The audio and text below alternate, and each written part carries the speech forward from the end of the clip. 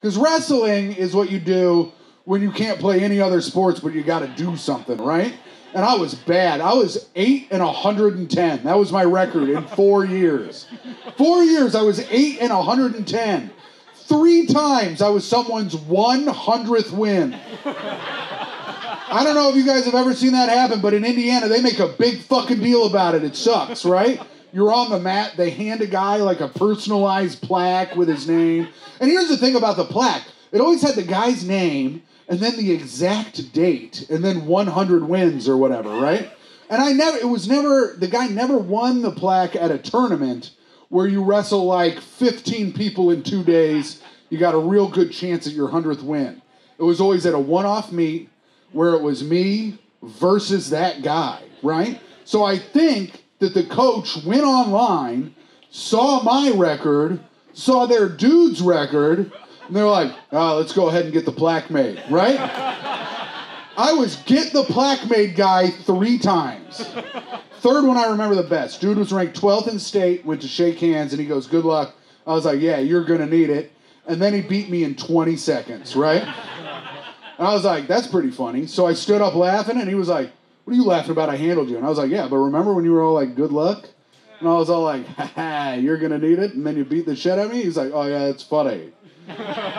you're funny. And then he let me hold his plaque. And my mom took a picture of me with it. So that was pretty cool. She put it in like a frame and shit. My dad was upset.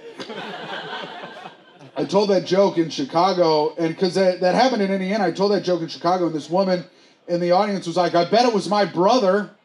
I go, lady, there's no way. She goes, yeah, I'm from Portage. I bet it was my brother. My brother was probably, I go, no. I go, okay. When did your brother wrestle? She goes, 2001 to 2005. I was like, cool, not a good start for me, right? I was like, what weight? She was like 152 pounds. And I was like, great. Strike two for the Timster. and then I said, what's your brother's name?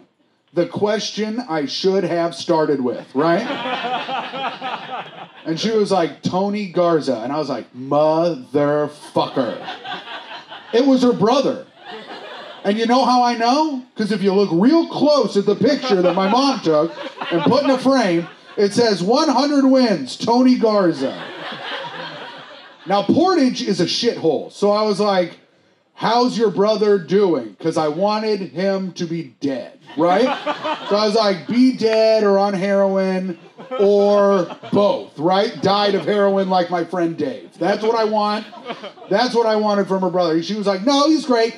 He's a surgeon. He has a huge house and a beautiful wife, couple of kids.